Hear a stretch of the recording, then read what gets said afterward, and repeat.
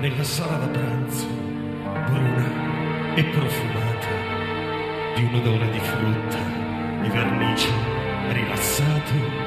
io raccolsi da un piatto un cibo forse belga e poi strofondai nella mia immensa sedia. E mangiando ascoltavo l'orologio sereno, la cucina si aprì come un soffio sbuffò e la serva arrivò e io non so il perché. Pettinata e scomposta maliziosamente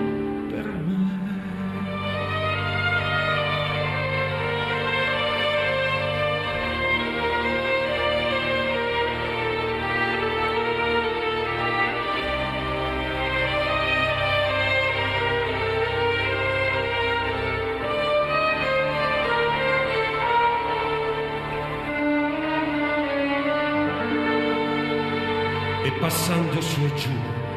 il suo ditino tremante sul suo viso di velluto e pesca rosa e bianca col suo labbro infantile mi faceva una smorfia riordinando stoviglie accanto a me per il mio bene. Poi così io lo so per ricevere un bacio lei mi sussurrò senti qui ho preso freddo sulla guancia